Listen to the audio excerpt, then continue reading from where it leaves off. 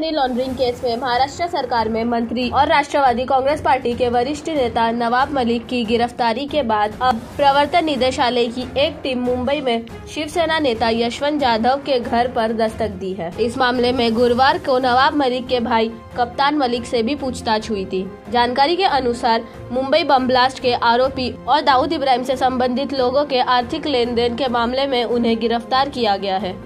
ED ने कुछ दिनों पहले ठाणे जेल से दाऊद इब्राहिम के भाई इकबाल कास्कर को कस्टडी में लेकर उससे पूछताछ की। इकबाल कास्कर ने अपनी पूछताछ में नवाब मलिक का नाम लिया है।